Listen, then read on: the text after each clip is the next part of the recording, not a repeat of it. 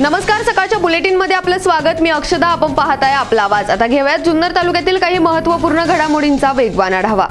साळवाडी ते खोडत फाटा रस्त्याच्या कडेची झुडपे व धोकादायक वळण काढावे अशी मागणी साळवाडीच्या नागरिकांनी केली आहे. समोरून येणारे वाहन दिसत नसल्याने या वळणावर अपघात होण्याचा मोठा धोका निर्माण झालाय.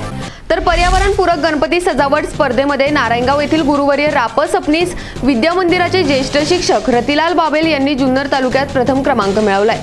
तर रोजगार हमीच्या मागण्यांसाठी काल जुन्नर येथील शिवाजी महाराजांच्या पुतळ्यापासून ते जिल्हाधिकारी कार्यालय पुणे येथे पायी मोर्चाची सुरुवात झाली.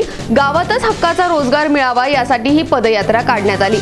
जिल्हा परिषद सदस्य देवराम लांडे यांनी आपटाळे प्राथमिक आरोग्य केंद्राचा पंचनामा केला. तसेच स्वच्छता नसल्यामुळे दोन दिवसांमध्ये स्वच्छता करून घ्या आणि स्वच्छता राखा अशा सूचना देखील दिल्या.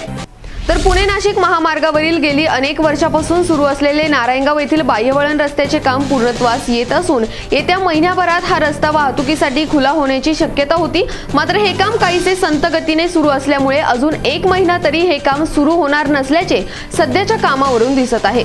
तर जुन्नर तालुक्यातील कोरोनाबाधित रुग्णांची संख्या तीन हजार नऊशे एकोणपन्नास वर जाऊन पोहोचली आहे. कोरोनाबाधितांच्या रुग्णसंख्येत बत्तीसने वाढ झाली तर एकशे एकाहत्तर रुग्णांचा कोरोनामुळे मृत्यू झालाय. तर सकाळच्या बुलेटिन मध्ये वेळ झाली आहे इथेच थांबण्याची अशाच ताज्या आणि महत्त्वपूर्ण घडामोडींसाठी पाहत रहा आपला आवाज. हाक तुमची साथ आमची. धन्यवाद. आवाज जगात कधीही कुठेही पाहण्यासाठी युट्यूबला आपला आवाज टाईप करून सबस्क्राईब करा आणि बेल आयकॉनवर क्लिक करून पहा ताज्या घडामोडी तुमच्या मोबाईलवर.